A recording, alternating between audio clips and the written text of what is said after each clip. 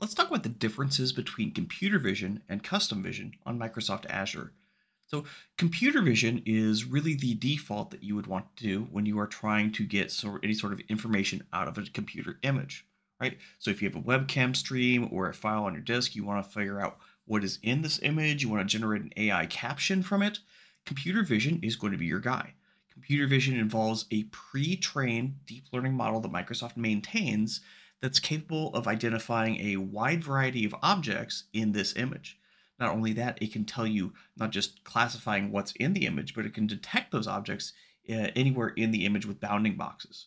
Okay, uh, it can identify such things as landmarks, uh, brands. It can help you with things like content moderation by flagging things as adult, uh, racy, gory, things like that.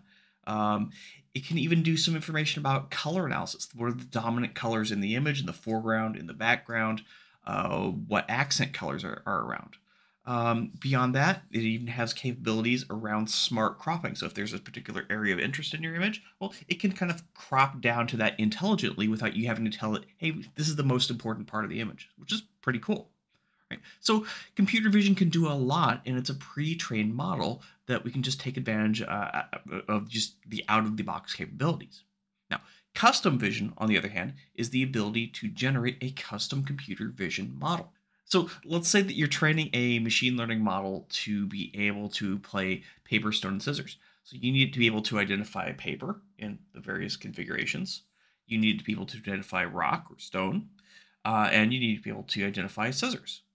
Right. So there's a you'll need a wide variety of images for these particular hand gestures in order to train a model, and you might provide all of those images yourself. But the resulting model is going to be really good at determining uh, this is paper, this is stone, this is scissors, and it's going to help you in that particular uh, type of game. Very silly example, but you can imagine maybe training something to spot cancer or uh, cracks in a, ma- a, manufacturing process, something like that.